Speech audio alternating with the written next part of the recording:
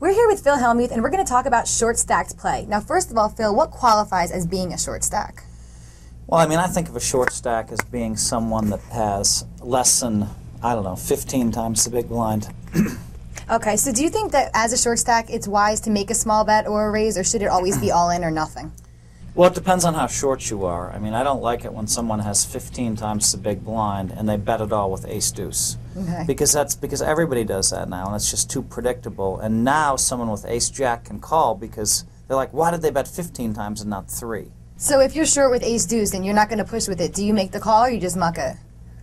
Um, I may make a little raise. Okay. I may fold the hand. I may even move in with it sometimes. Okay. But it's just not something, it's not a strong play to move in there. So if you're a very short stack, you do manage to double up, but you still have way less chips than everybody else at the table. Is it wise to continue playing as a short stack, even if you don't specifically qualify as a short stack? You have more than 15 times the blind, but you have way less than everyone else. I mean, you know, there's times when you are short stacked or just above the short stack line Mm-hmm. that you need to. You just, I think, being patient is still important. And uh, when you're a short stack, you're patient because, you know, I mean, everybody's going to call you. Yeah. So um, I still like to play patiently when I'm kind of low chipped. Okay. And what would be your best recommendation for someone who seems to be a chronic short stack?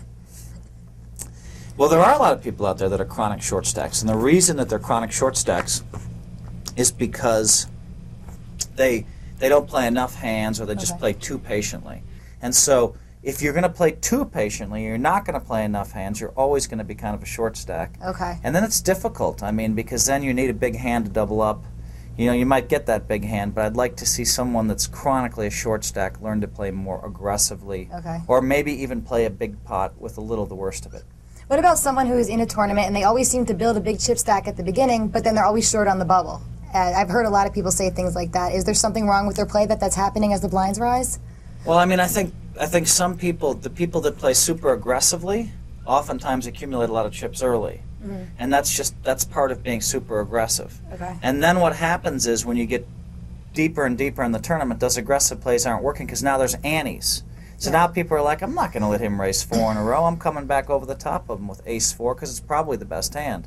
And now this guy who is bluffing and does play too many hands can't call the re-raise. Yeah. And so now he gets himself kind of, you know, short on chips right near the money because he's making raises he can't call the re-raises. So if you're one of these super aggressive players that gets a lot of chips early, you have to know when you can play super aggressively and when to back off. That makes sense. So what about if you're short stacked on the button and you, or excuse me, you're short stacked on the bubble in a tournament and you have a hand like pocket fives, pocket sixes. Now you know you can make your way into the money if you just muck it. Would you push with that anyway? I would push with it anyway, fives or sixes. I would push. Now, I mean, I'm not going to come over the top of somebody. Yeah.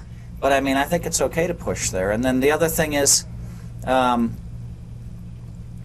you know, what kind of table do you have? I mean, if everybody at your table is trying to make the money, and you're short stack, It's a better idea to push in that it's a better idea to push with fives or sixes. Yeah. But in general, I'm probably going to play that hand. I don't know. I mean, there were times last year when I'm trying to set the record for most times in the money. And you know, I mean, I know that there's a hundred and I don't know, a hundred players left. They're paying ninety, and I'm like, oh my god, I'm going to break another record today if I can just last ten players. Sometimes, if I had a huge chip stack, I would continue to kind of play aggressively. But sometimes, if I were short or medium stack, I'd just play even tighter, just until people busted themselves. Okay. So that's a viable strategy to do that, um, especially even a short stack. You could do that, but but I was also going to play if I picked up nines Okay. or tens or eights. I wasn't going to just ante it off. So what about in a cash game? I know short stack play is very different because you can buy back in for more money, but what would you recommend to someone who finds themselves short stacked in a cash game, doesn't want to buy back in? Should they use the same strategy as tournament short stacked play? If yeah, absolutely. If you're not going to buy back in, then definitely use the same strategy as tournament short stack play. And you have the advantage of the blinds not going up. I would trap more too. I mean, if I were if I were a short stack in a side game and I had two aces or two kings, I might limp in Uh-huh. Because now if someone flops any pair, they're probably going to make they're going to call you and now They're gonna a have to call, favorite. absolutely. Yeah. So I mean, I would you know I would try a little more. I'd play a little more trappy. So if you could give one piece of advice to short stacked players, what would your main piece of advice be? I mean, you know, I mean, play patiently um, because you're probably going to get called. Uh, you know, and uh, and So have maybe the even- goods. have the goods, you know, and maybe even trap. I mean, you know, you might pick up two aces instead of moving in for 10x times the big blind. Okay. um, which is not a bad play with aces because they might put you on ace deuce. Yeah. Maybe just call. Great. Thank you very much, Phil. Lizzie Harrison with Phil Hellmuth for Card Player TV.